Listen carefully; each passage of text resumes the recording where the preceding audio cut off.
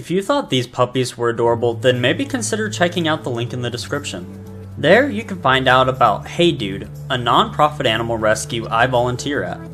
This rescue is owned and operated by a couple of incredible women with the help of their amazing volunteers and ranch hands.